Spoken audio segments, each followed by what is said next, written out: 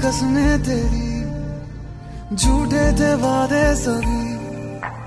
Hello friends आज की video में हम बात करेंगे इंडिया के टॉप इंडिपेंडेंट आर्टिस्ट में से एक, दर्शन रावल की। दर्शन की आवाज़ आकर्षित करने वाली है और उनका म्यूज़िक भी सीधा दिल को छूता है। दर्शन के बारे में अक्सर एक बात बोली जाती है, उनकी मासूम सी सूरत देखकर सभी हैरान रह जाते हैं कि उनकी आवाज़ में इतना बेस कैसे है। नमस्कार दोस्तों, मेरा नाम है अभिषेक और स्वागत है आपका हमारे यूट्यूब चैनल में। इस वीडियो में हम दर्शन के करियर के बारे में जानेंगे कि कैसे एक रियलिटी शो से उन्होंने करोड़ों दिल पर राज करने का सफ़र तय किया और जानेंगे उनकी पर्सनल लाइफ के बारे में बहुत सी इंटरेस्टिंग बातें। तो दर्शन के बारे में सब कुछ जानने के लिए वीडियो के एंड तक जुड़े रहें। दर्शन का जन्म 18 अक्टूबर उन्नीस को अहमदाबाद, गुजरात में एक मिडिल क्लास फैमिली में हुआ था। दर्शन के पिता का नाम राजेंद्र रावल है, जो कि पेशे से एक राइटर हैं, और उनकी माँ का नाम राजल रावल था, जो एक होम मेकर थी। वो अब इस दुनिया में नहीं हैं। दर्शन पढ़ाई में कोई बहुत अच्छे नहीं थे, फिर भी उनकी फैमिली वाले चाहते थे कि वो सिंगिंग ना करके अच्छी तरह पढ़ाई लिखाई करें और अपना करियर इंजीनियरिंग फ़ील्ड में बनाएँ। लेकिन दर्शन में जब थोड़ी समझ आई तो उन्हें एहसास हुआ कि उनकी आवाज़ बहुत अच्छी है और उन्हें सिंगर बनना चाहिए। इसीलिए दर्शन ने काफ़ी कम उम्र से एक बड़ा सिंगर बनने का सपना देखना स्टार्ट कर दिया था। दर्शन की स्कूली पढ़ाई अहमदाबाद के ही एक स्कूल से हुई थी और बचपन से ही उनका नाम क्लास के शरारती बच्चों में लिया जाता था।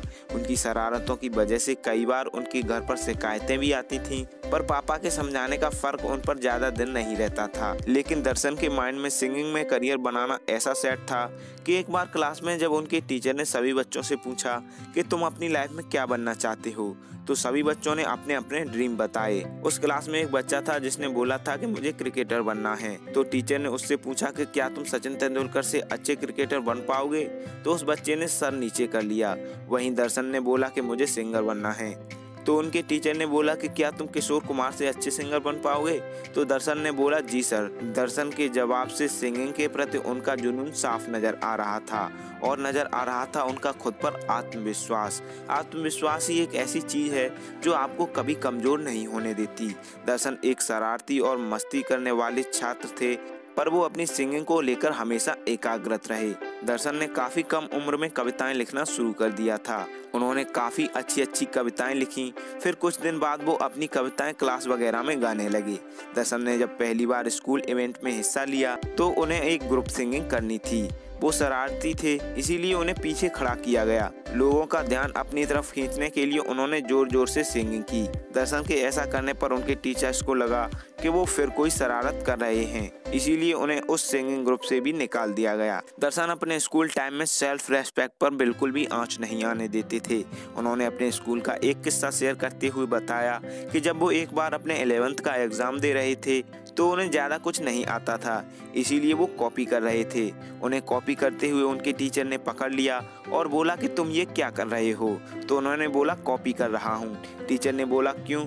तो उन्होंने बोला कि मुझे नहीं आता। इसी बात पर उनके टीचर ने वहाँ उन्हें एक थप्पड़ मार दिया। दर्शन को बहुत इंसल्ट फील हुआ। उन्होंने बोला, आप मेरी कॉपी ले लेते, क्लास से निकाल देते या कुछ भी करते, पर आपको मुझे थप्पड़ नहीं मारना चाहिए था। अब देखो मैं क्या करता हूँ। दर्शन ने स्कूल के बाहर तीस पैंतीस लड़के बुला लिए और इंतज़ार करने लगे कि कब उनके टीचर बाहर आए। जब उनके टीचर ने स्कूल से बाहर देखा तो वो काफ़ी डर गए। उन्हें लगा कि आज दर्शन मेरी पिटाई करेगा। टीचर ने इशारा करके दर्शन को स्कूल में बुलाया और थप्पड़ के लिए माफ़ी मांगी।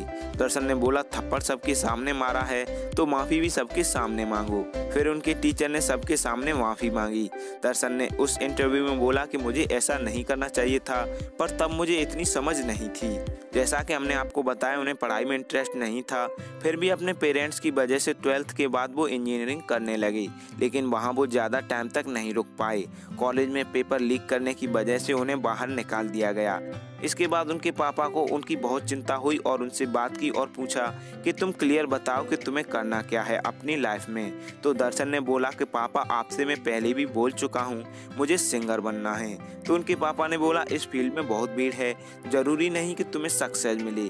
क्या पता तुम्हारे कई साल बर्बाद होने के बाद तुम्हें एहसास हो कि मैं बहुत पीछे रह गया हूँ। तो दर्शन ने बोला, अगर मुझे कोई काम नहीं भी देगा तो भी मैं एक इंडिपेंडेंट आर्टिस्ट की तरह यूट्यूब पर सिंगिंग करता रहूँगा। अपने कॉलेज टाइम में ही दर्शन ने यूट्यूब पर सिंगिंग करना स्टार्ट कर दिया था। वो यूट्यूब पर कवर सॉन्ग गाया करते थे। उन्होंने जब यूट्यूब पर अपना पहला कवर सॉन्ग अपलोड किया था तो उनके व्यूज़ बहुत कम आए थे। लेकिन उस वीडियो में 300 व्यूज़ पूरे होने पर उन्होंने अपने दोस्तों के साथ पार्टी की थी। दर्शन बताते हैं कि वो 300 व्यूज़ भी मेरे और मेरे दोस्तों के ही थे। शुरुआत में व्यूज़ बहुत कम आते थे, पर मैंने कभी नेगेटिव नहीं सोचा। यूट्यूब पर कुछ टाइम में उनके अच्छे खासे सब्सक्राइबर हो गए थे, और उन्हें शोज़ के भी ऑफ़र आने लगे थे। इसलिए उन्होंने अपने पापा से बोला था कि अगर मुझे बॉलीवुड में गाने का मौका नहीं मिलेगा तो भी मैं इंडिपेंडेंट आर्टिस्ट के तौर पर बहुत कुछ हासिल कर लूँगा। लेकिन उनके पापा फिर भी उनसे सहमत नहीं थे। वो बोलते थे कि तुम अपना टाइम खराब कर रहे हो। म्यूज़िक से घर नहीं चलता। इंजीनियरिंग छोड़ने के बाद वो लगभग छह महीने घर पर ही रहे और घर से ही वो लाइव कंसर्ट और यूट्यूब सॉन्ग गाते थे। इन छह महीनों में उन्होंने अपने पापा को इतना तो दिखा दिया था कि वो आगे ज़रूर जाएँगे। क्योंकि उन्होंने इवेंट्स और यूट्यूब से इतना पैसा कमा लिया था कि वो अपनी फैमिली को लेकर यूएस घूमने जाने वाले थे। यूएस जाने की पूरी तैयारी हो चुकी थी। उसी बीच उन्हें मुंबई से एक कॉल आई, जिसमें उनसे बोला गया कि एक रियलिटी शो है जो तुम्हें करना चाहिए। दर्शन अपने यूट्यूब पर ही काम करना चाहते थे। उन्हें रियलिटी शो में ज़्यादा इंटरेस्ट नहीं था। इसलिए उन्होंने इन्वाइट करने वाले से बोल दिया कि मुझे रियलिटी शो नहीं करना है। लेकिन सामने से दर्शन को बोला गया कि एक बार सोच लो। इस शो में आप अपना गाना भी गा सकते हैं और यहाँ सेलेक्ट हुए तो तुम्हें बहुत पहचान मिलेगी। दर्शन उसकी बातों से सहमत हुए और उन्हें ये भी लगा कि यहाँ शायद कुछ अलग होगा। इसके बाद दर्शन ने एक वीडियो बनाया और उस रियलिटी शो के लिए भेज दिया। वो वीडियो भेजकर दर्शन अपनी फैमिली के साथ यूएस चले गए। यूएस में वो तीन चार महीनों के लिए गए हुए थे। लेकिन यूएस पहुँचने के दो महीने बाद ही उनका मुंबई से कॉल आ गया और बोला गया कि आप शॉर्टलिस्ट हो चुके हैं। मुंबई आकर ऑडिशन दे दो। ये शो था स्टार प्लस का India raw star. Darshan Mumbai जाने की तैयारी करने लगे। तभी उनके पापा ने बोला कि तुम एक ऑडिशन के लिए यूएस से मुंबई जाओगे।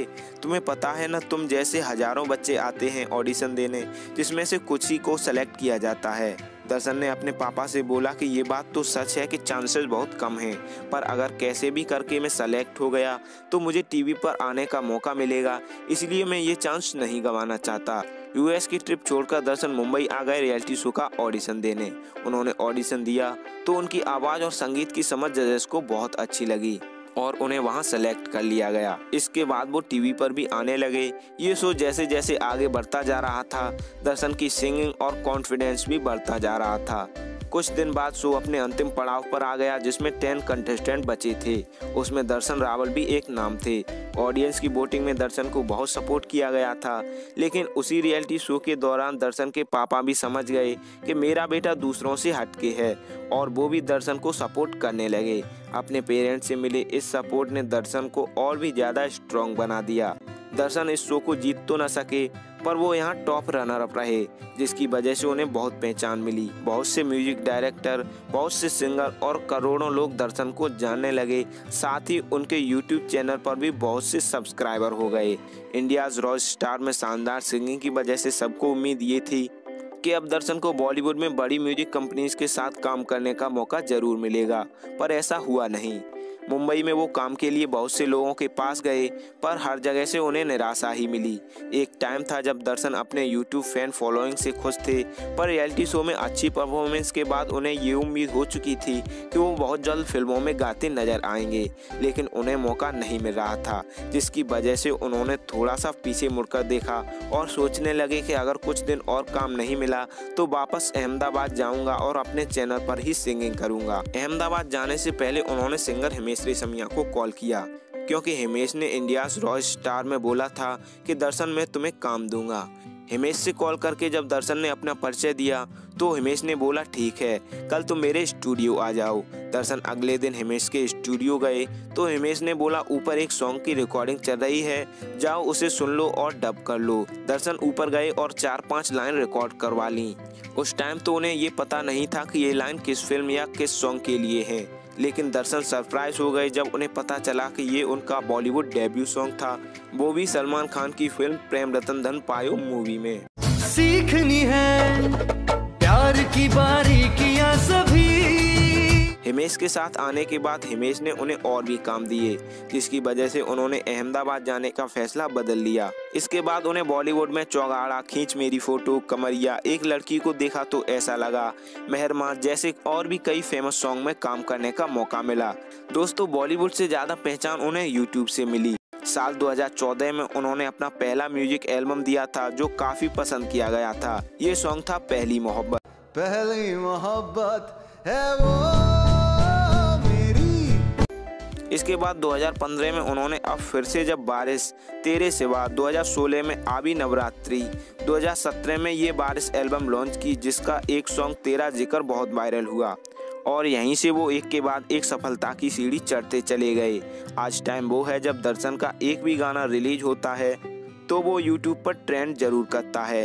उनके सुपरहिट सॉन्ग में से एक तरफा हवा बन के जुदाइयाँ, काश ऐसा होता, बारिश लेते आना, मुझे पीने दो, उनके सबसे ज़्यादा सुने जाने वाले सॉन्ग हैं। दर्शन बोलते हैं कि मेरे पापा बोलते थे कि म्यूज़िक से घर नहीं चलता। और आज मैं अपने पापा से बोल देता हूँ कि देखो पापा म्यूज़िक से मैंने करोड़ों रुपए की प्रॉपर्टी बना ली। दर्शन के पापा अब उन पर बहुत प्राउड करते हैं। दोस्तों, ऐसा बिल्कुल भी नहीं है कि दर्शन के पेरेंट्स उन्हें सिंगर नहीं बनने देना चाहते थे। वो लोग बस दर्शन का सिक्योर फ्यूचर चाहते थे और हर पेरेंट्स अपने बच्चे के लिए ऐसा ही चाहते हैं। लेकिन मैं कहना चाहूँगा कि अगर किसी बच्चे में टैलेंट है तो हर माँ बाप को उसे सपोर्ट करना चाहिए, जिससे बच्चा आगे जाकर अपने फेलियर का दोष अपने पेरेंट्स को ना दे सके। दर्शन स्ट्रांग थे, इसीलिए बिना फैमिली सपोर्ट के आगे बढ़ते गए, पर हर बच्चा इतना स्ट्रांग नहीं होता। दर्शन को अब फ़िल्मों में भी कुछ रोल ऑफ़र हुए हैं, पर अभी वो एक्टिंग में नहीं जाना चाहते। हालाँकि वो अपने गानों में एक्टिंग करना पसंद करते हैं, पर बॉलीवुड में उन्होंने ज़्यादा इंटरेस्ट नहीं दिखाया है। चलिए दोस्तों, अब दर्शन के बारे में कुछ और इंटरेस्टिंग बातें जान लेते हैं। बहुत बार ऐसा हुआ है, जब दर्शन ने कई सॉन्ग गाने से मना कर दिया हो। वो बोलते हैं, मैं वही गाना पसंद करता हूँ, जो मेरी आवाज़ को सूट करते हैं। इस बात पर कई म्यूज़िक डायरेक्टर बोलते हैं कि दर्शन में बहुत ईगो है तो बहुत से लोग उनके इस तरह से सॉन्ग सिलेक्शन को पसंद भी करते हैं। दर्शन एक बहुत ही साई किस्म के इंसान हैं। दर्शन के स्कूल में उनके साथ पढ़ने वाले बोलते थे कि, क्या तुम परेश रावल के रिश्तेदार हो? तो दर्शन भी हाँ बोल देते थे। इसी का फ़ायदा उठाकर वो कई दोस्तों से अपना काम भी करवा लेते थे।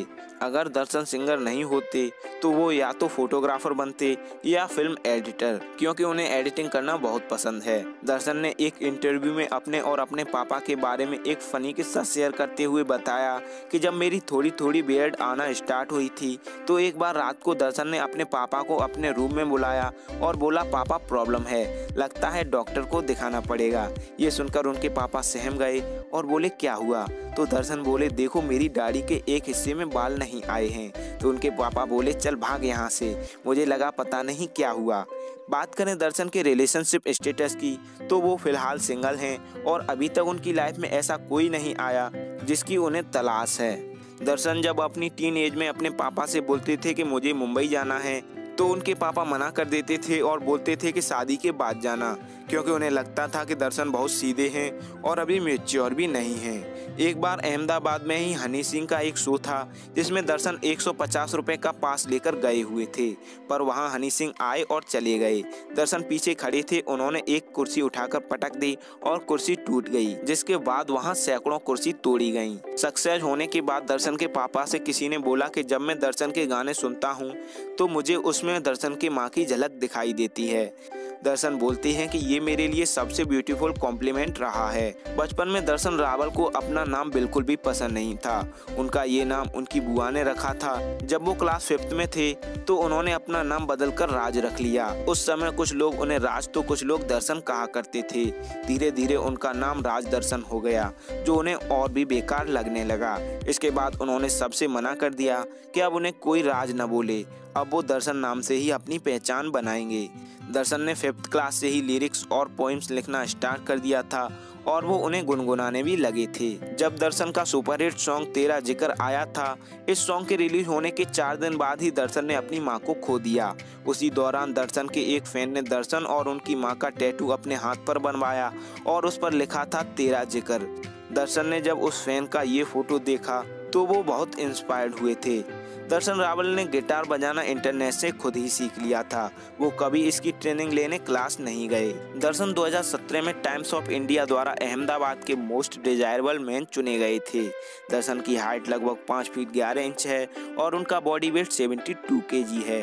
दर्शन ने अभी कुछ टाइम पहले एक्टिंग की ट्रेनिंग भी ली है। पर वो बोलते हैं, वो अभी एक्टिंग फ़ील्ड में नहीं जाना चाहते। और उन्होंने ट्रेनिंग अपने सॉन्ग्स में एक्टिंग के लिए ही ली है। बाकी अभी उनका सारा फोकस सिंगिंग पर ही रहेगा। दोस्तों, आपको क्या लगता है, दर्शन को क्या एक्टिंग फ़ील्ड में भी आना चाहिए? हमें कमेंट करके ज़रूर बताएँ। दर्शन जब स्कूल और कॉलेज में थे तो उन्हें एक ही नज़र में कई बार प्यार हुआ, लेकिन वो इन मामलों में बहुत शर्मीले स्वभाव के रहे हैं। इसलिए उन्होंने किसी लड़की से जाकर बात नहीं की। दर्शन को इंस्टाग्राम पर एक्टिव रहना बहुत पसंद है। और अभी उनके इंस्टाग्राम पर लगभग सेवन मिलियन फॉलोवर हो चुके हैं। इंस्टाग्राम पर वो अक्सर फ़ोटोज़ आईजीटीवी वीडियो और शॉर्ट वीडियो पोस्ट करते रहते हैं। दर्शन के लिए कई लोग ये भी बोलते हैं कि उन्हें अपने गानों के लिरिक्स याद नहीं रहते। ये वीडियो उन सारे लोगों के लिए जिनको लगता है मुझे मेरे गानों के लिरिक्स याद नहीं रहते। झूठी थी कसमें तेरी झूठे थे वादे सभी।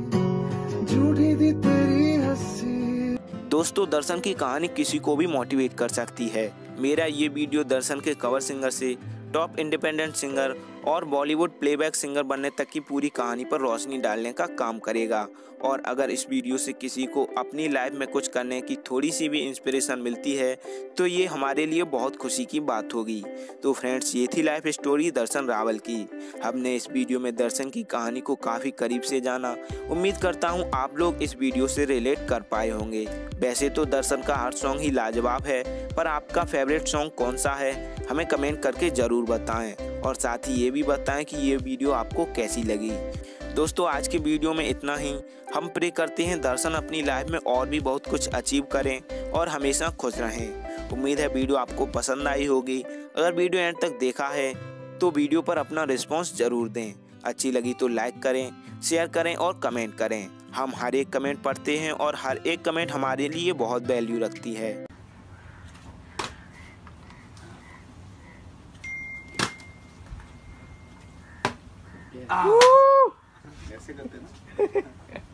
पहले टेक्नोलॉजी कम थी, लोग कम बात करते थे, तब प्रॉब्लम्स कम थी ट्रस्ट इश्यूज़ की।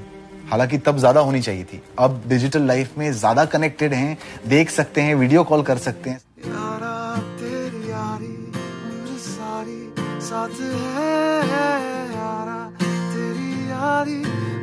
सारी